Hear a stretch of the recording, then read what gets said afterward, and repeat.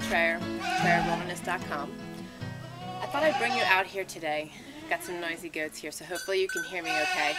But um, we had our uh, first baby goats um, in January, and so we are finally able to uh, be milking our goats that we've been feeding for a year and a half. So I'm real excited. And um, the Mountain Man built this a while back.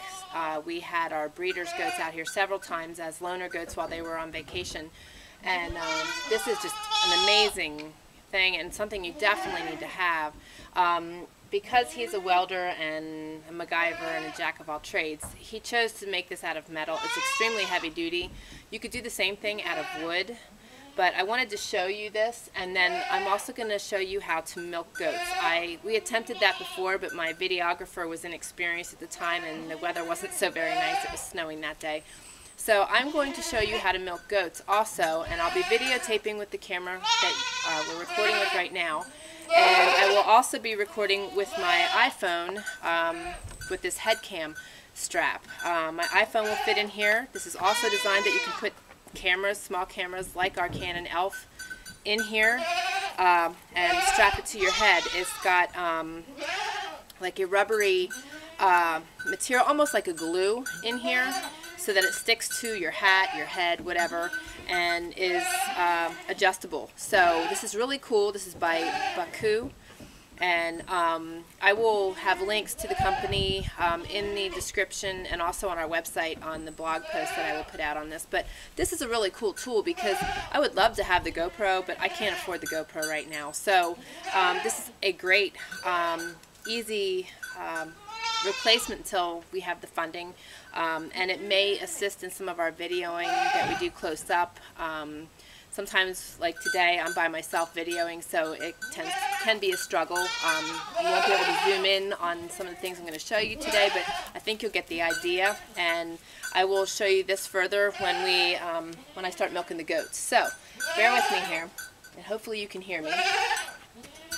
This was made for a metal dish, metal feed dish that the breeders had. Um, our dish was smaller and didn't fit in here, and I didn't invest in another dish. We're real frugal and just improvise a lot. So what I did is just took um, thin wire and crisscrossed it so that I can put my bowl in here like so. So that's their feeding dish. Um, when you're milking goats, you want to have them preoccupied. So I have the littles out in the yard here. They can see them running around, and their feed is there, so they're pretty well distracted. This is really cool. This moves, and it has uh, six or seven holes here, um, depending on the size of the goat. Our goats are small, so I can put it in the very first hole. Um, and, and it's important to keep them secured. They will try to get out if their food bowl empties. Um, they will definitely be buggers and try to escape. Um, they're very smart animals, so um, keep that in mind.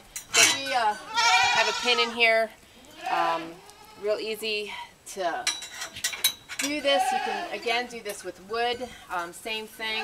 Uh, it's nice and sturdy, so there's back on here so the goats don't fall off. They have a tendency to move while you're milking and walk around and occasionally this one here, if, I don't know if you can see her, but Copper's out here, our Rhodesian, and she tends to uh, stir things up a lot. It also has this really nice ramp. On the ramp there are two bys so that they have something to secure their feet. Um, as you can see there's a roof on top of here, but it gets wet. Um, I was um, milking in snow and rain without that so we got that in place. So um, but that it makes it easy for them to get on. Um, you'll see how well we have them trained um, as far as I just open the door and they will just wander out on the stand and into position. So it's pretty cool. It doesn't always work that way and they don't always cooperate. Trust me, I could I could have videoed a couple days ago and made a lot of money on that video. So, but we won't go into that.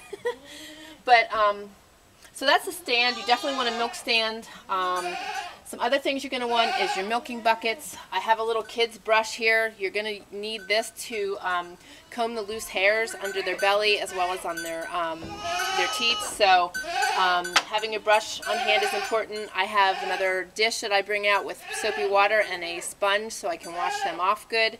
And um, I have two different milk buckets. One that I put the milk in once I've milked them, and the other one that I use to milk into.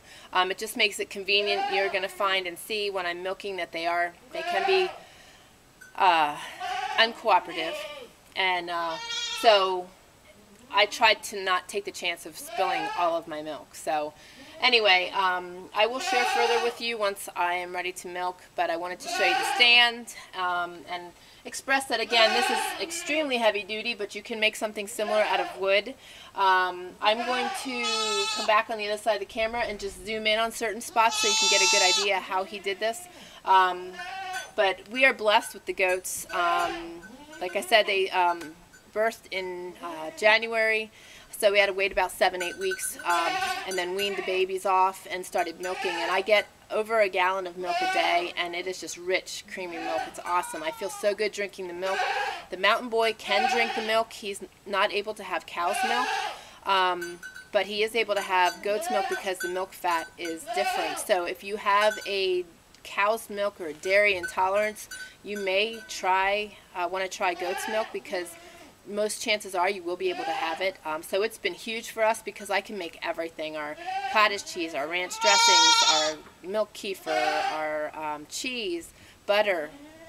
So all those things are now part of our homestead and just another uh, way that we're self-sufficient. So um, keep that in mind and uh, let me step aside here and show you this a little bit better.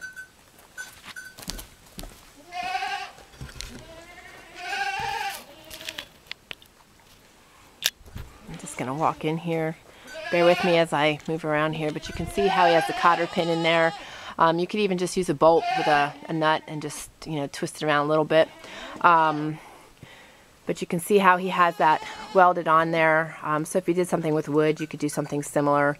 Um, but he's got this very, very well built. It's extremely sturdy and extremely heavy. The three of us need to move it when we move it. And uh, so you can see how we put the two bys on there. Just makes it really nice and easy for them to get on. One of our goats is uh, extremely um, non-coordinated and the other one is uh, very coordinated and a climber. So um, the one that's not coordinated struggles greatly. So that helps a lot.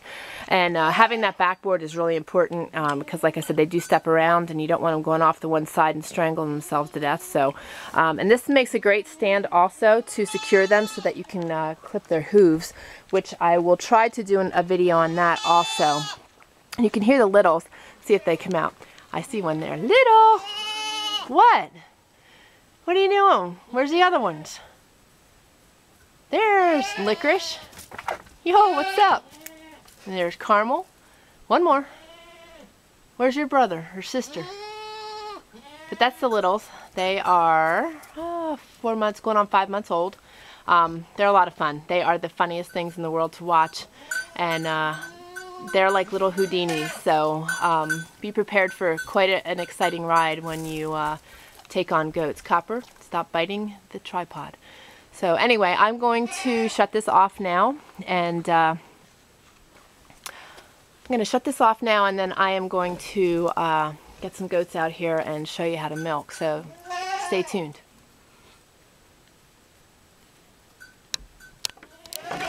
Alright guys, I am back out here I have my little water bucket over here on the ground. And I have my feed bucket here, which is a coffee can with a hole punched in it that I have hanging there. I have the milk bucket with another bucket inside there for milking. And I'm going to go fetch a goat and show you how this goes. And be prepared. Anything goes, so...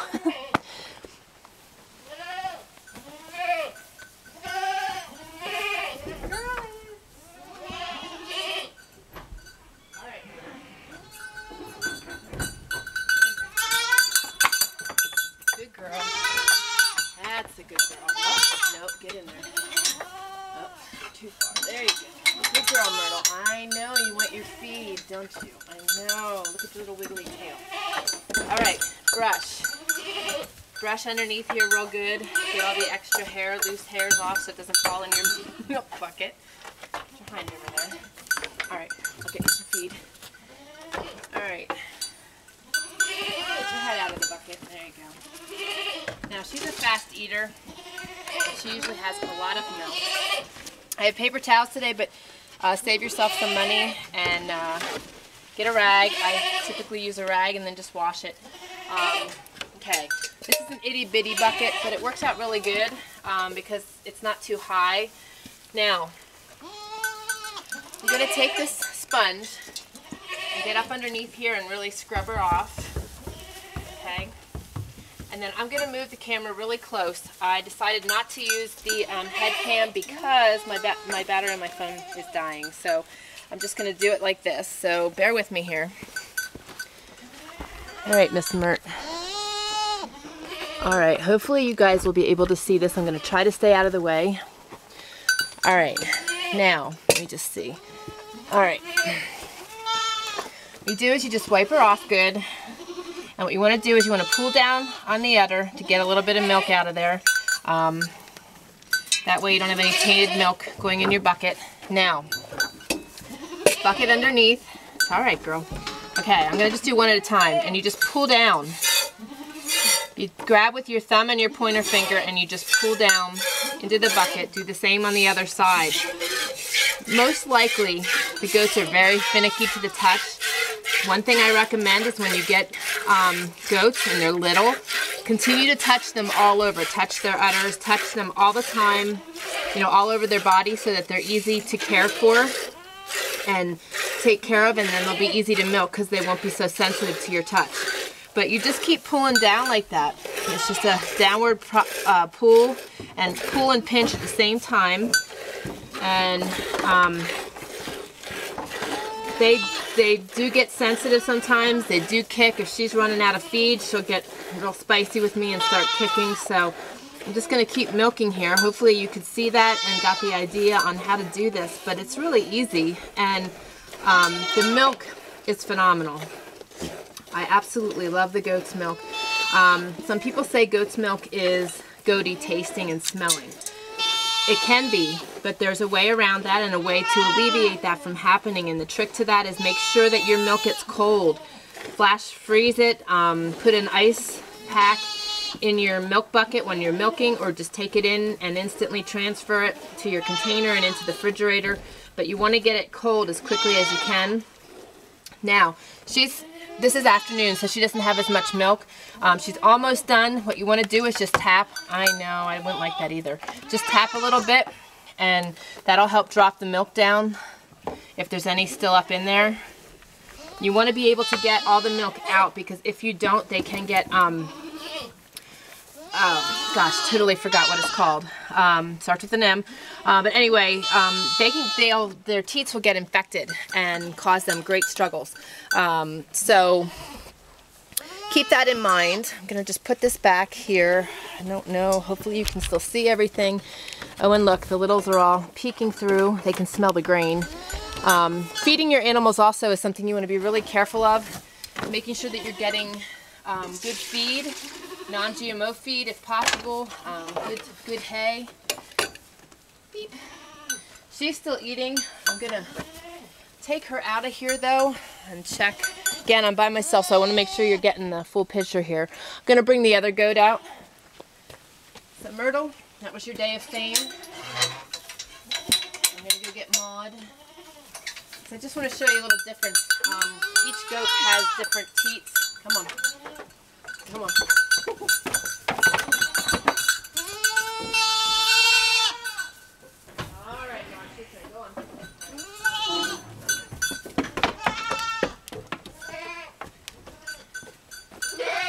Having feed in the dish, even just a little bit when they get out here, makes it a little easier. You saw Myrtle was kind of ready to jump ship because there wasn't any feed in the thing. But um, they're all just like people built differently. Um, Myrtle's teats um, are really tiny and her sacs get really, really full. So her teats are actually jetting out in the morning, which makes it really tricky to milk trying to get it into the bucket. Um, so, and they're harder to get a hold of. They can cause your hands to cramp up a little bit. So, you know, it's something that you got to get used to. Uh, something I would suggest if you have never milked goats before and you suddenly have a whole pile of goats to milk is to be sure that you have there's like stress balls and tension balls that you can get at the um, drugstore and or even on Amazon.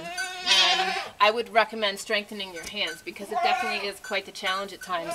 Um, when you go from not milking to milking, I know you'd stick your head in there, wouldn't you, and just knock the board. No, you're you make it tough.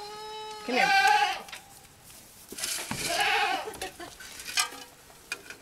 All right, I'm gonna bring this close again and just show you the difference in Maud. And sorry for all the movement here. Hopefully you guys can see this again, and hopefully you can see the other. Okay, again, wipe it off, and you want to squeeze some of the milk out. Wipe that off just so you don't have any tainted milk in there. And you see hers are so much longer. Same thing, just grab at the top and pull down.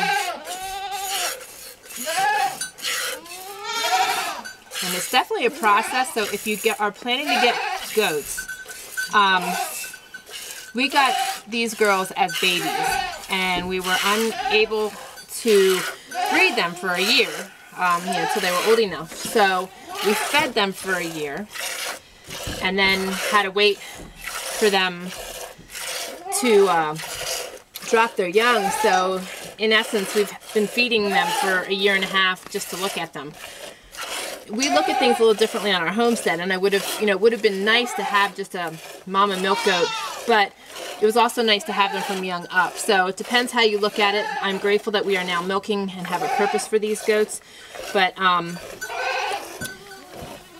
you want to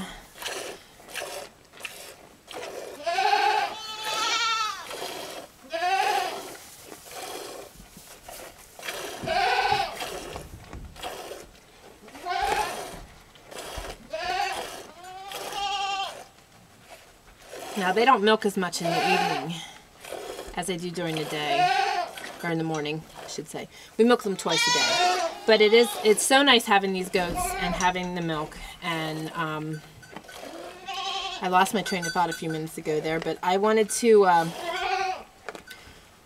just show you how to do this.